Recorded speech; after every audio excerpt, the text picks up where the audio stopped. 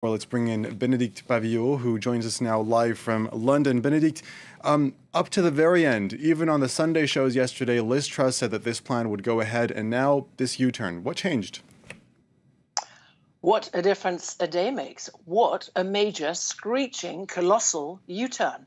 Uh, so clearly, uh, Kwasi uh, announced suddenly before several major interviews this morning to the British media that uh, he was ditching that top income tax rate, that 45 pence tax rate.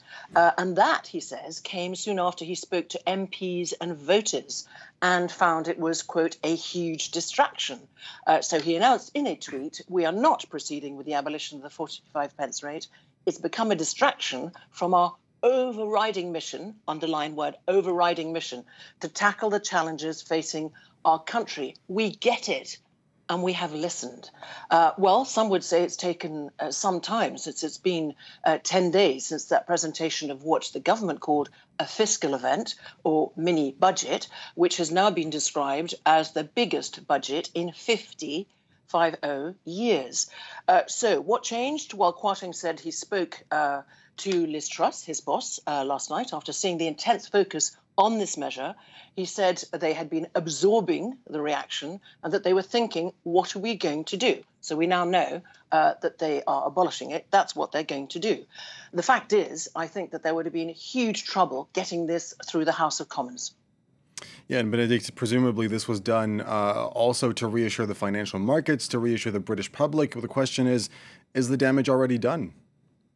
Well, the British public that is going to be funding these cuts uh, that were going to help uh, the richest. So that in the middle of a cost of living crisis, that in the middle of a 10% uh, inflation, everything is about timing and in a context. We don't live in a vacuum. Also, uh, not part of the vacuum or in the context is the fact that we've had national rail strikes with what are those strikers asking for? 54,000 of them on Saturday. More to come in the coming days. They're asking for their salaries their payment uh, to be up uh, in line with inflation. So let's be clear. Politically this is grabbing headlines it's political drama. It is absolutely significant. But economically, what economists point out is that, in fact, um, this £2 billion reduction in the borrowing of the government to help the wealthiest is not going to compensate for the other £45 billion of tax cuts that have been announced in that budget. So, naturally, as I said, this is grabbing absolute attention.